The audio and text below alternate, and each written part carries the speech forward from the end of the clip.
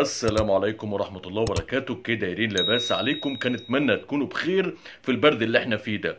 المهم تعالوا عشان هقول لكم كام حاجة كده قبل ما أوريكم دخول الجمهور المغربي لملعب مباراة الأهلي وأوكلاند سيتي قبل المباراة بساعتين.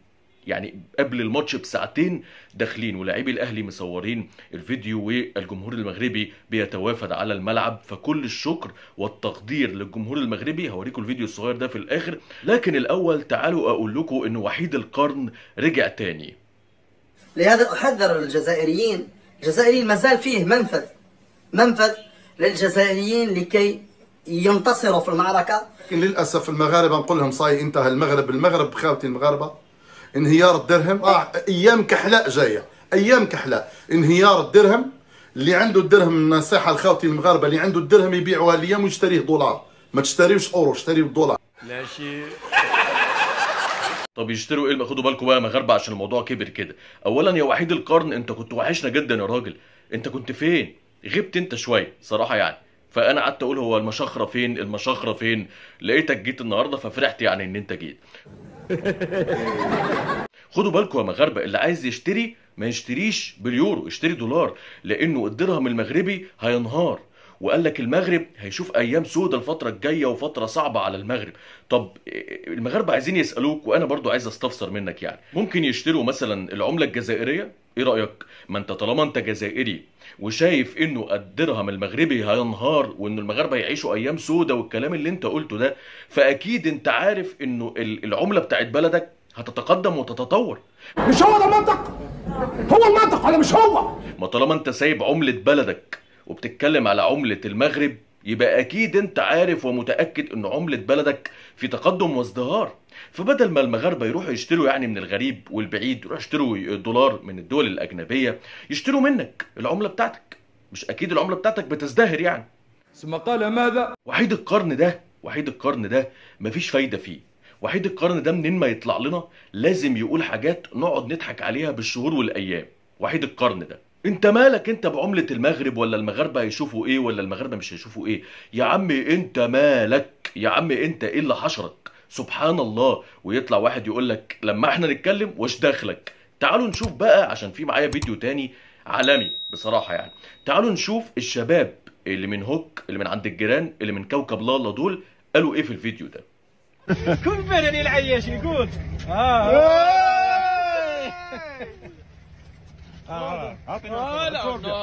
هذا في خاطر ما- مطيشه بنان ليمن شو البنان ليمن شو البنان ليمن عطيه شو ليمن شو لا ده انت عيل قليل الأدب والأدب مش هينفع معاك. يا شباب في إيه يا شباب طب بعيدا يعني عن إن أنتوا طلعتوا ال- الكائن الحيوانات دول في ال- في الفيديو وقلتوا إن دول المرارقة. بعيدا عن كده يعني بعيدا عن إن أنت وجهت السباب للشعب المغربي باللفظ لكن بيتقال علينا إحنا بنعمل ال- المشكلة والأزمة.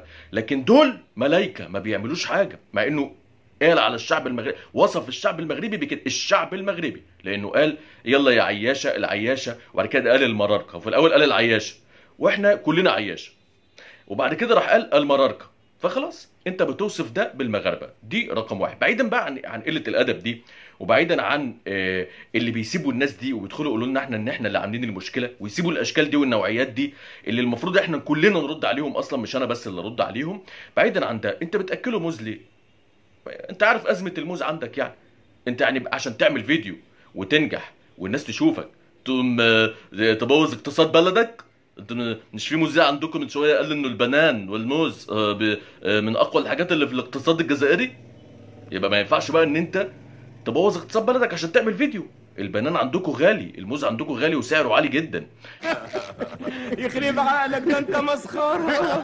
فالحقيقة يعني إنه أنا عندي القدرة إن أنا أرد على كائن زي ده على واحد زي ده أو شباب زي دول ب يعني بكل الأوصاف اللي ممكن تتخيلوها وما تتخيلوهاش. أنا لساني طول إيدي. لكن إحنا ما تربناش على كده. وده اللي بيحصل برضو معايا في رسائل الفيسبوك يعني. فإحنا ما تربناش على كده يعني. إحنا اتربينا إن إحنا نرد نجيب الفيديو نحطه قدام الناس عشان نقول للناس الحقيقة ونقول للناس النوعيات دي بتعمل إيه وبتفكر إزاي. وفي نفس الوقت نرد عليه رد ساخر كده جميل نقول له حبيبي الموز ده أنت أولى بيه. أنت أولى بيه. لأنه ال ال الكائن اللي أنت موقفه قدامك ده هو بيلاقي الموز انت اللي ما بتلاقيهوش. يعني هو لاقي الموز أكتر منك. فيا ريت انك تاكل البنان وتتدفى وتحافظ على اقتصاد بلدك ما فيديوهات عشان البنان عندك مش موجود. ده الفيديو التاني. الفيديو التالت ولا تعالوا نشوف.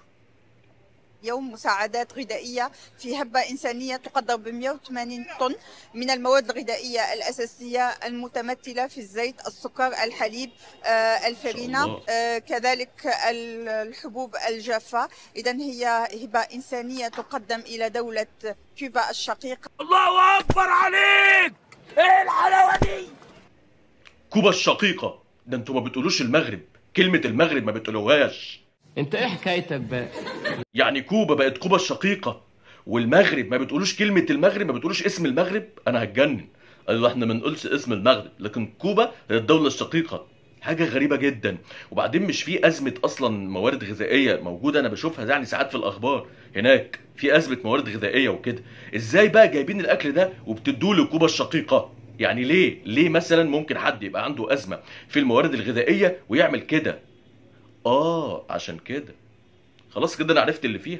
ما هو الخبر ده يخليك على طول تعرف إنه ليه كوبا بقت شقيقة وليه المغرب ما بنقولش اسمه أو بنقول عليه المروك أو يعني ما بنذكروش لما بي- بيحقق بطولات في كأس العالم ما نقول أو, أو أنجازات في كأس العالم ما بنقولش. لكن ده السبب اللي خلى كوبا بقت كوبا الشقيقة وممكن نديها أكلنا كمان وشربنا ولا حد ي- نجوع مش مشكلة. بس إبراهيم غالي يرضى عننا والبوليساريو يرضى عننا.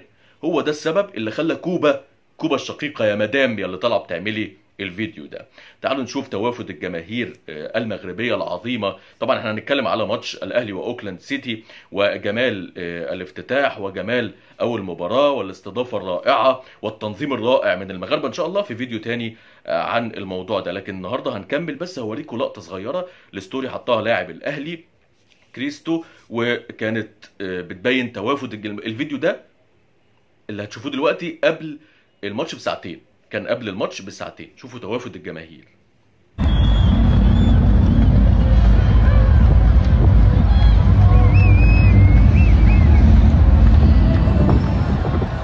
طبعا حاجة رائعة جدا لأنه العدد ده بالنسبة لقبلها بساعتين وماتش ما فيهوش فريق مغربي ده يبين قد إيه المغاربة داعمين للنادي الأهلي. دي, دي البداية قبل ماتش بساعتين. طبعا شفته في المباراة. في نهاية الفيديو اولا عايز أشكر الشعب المغربي بالكامل. عايز أشكر الجمهور المغربي الرائع على استضافة النادي الأهلي المصري وعلى تشجيع النادي الأهلي المصري. ولينا كلام على المباراة إن شاء الله. في نهاية الفيديو بشكركم شكرا جزيلا. وأشوفكم في فيديو جديد إن شاء الله. تحياتي ليكم جميعا. وأنا كان بغيكم بالزاف وحفظ الله مصر وحفظ الله المغرب. وشكرا مرة أخرى على الاستضافة الرائعة للنادي الأهلي المصري. والسلام عليكم.